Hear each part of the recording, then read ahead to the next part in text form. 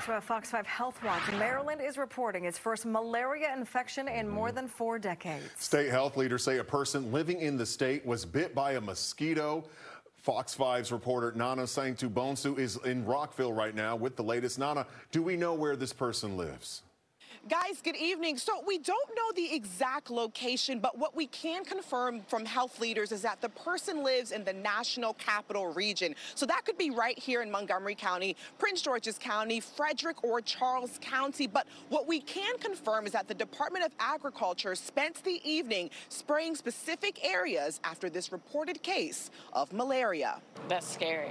I was a little bit shocked. To find out that someone living in the state of Maryland was hospitalized and is now at home recovering after contracting malaria. It's getting crazy out here. The state health department says this individual did not recently travel outside the United States. This case is the first of its kind not related to travel in over 40 years. You think of malaria, you think of something that's like the previous generation ago. The fact that it would be contracted by somebody who wasn't living or traveling is a little scary. The mosquito-borne diseases can occur and do occur in the United States. Dr. Amesh Adalja is an infectious disease physician and a scholar with John Hopkins. It's only a matter of chance that the right mosquito bites the right person and you have locally acquired malaria, just like they used to have in Maryland and just like we've seen in Florida and Texas. So I think it's important that people look at this case of malaria, just like the cases in Florida and Texas, as well as all the West Nile cases that we're hearing about, uh, as, a, as, a, as a wake up call that mosquito borne illnesses are present. And if you are complacent about mosquito control,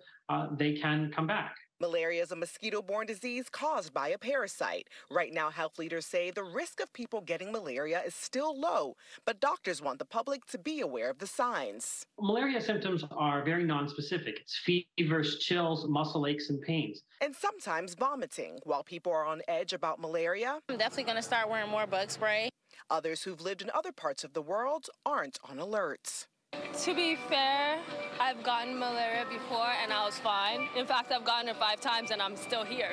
Now, there are a number of things you can do to protect yourself from getting bit by a mosquito, like wearing loose clothing or even using insect repellent that's specifically for mosquitoes and removing standing water sitting near or around your house. Now, U.S. Senators Cardin and Van Hollen released a joint statement saying they stand ready to send federal support to state and local governments, which includes money and technical assistance if ready.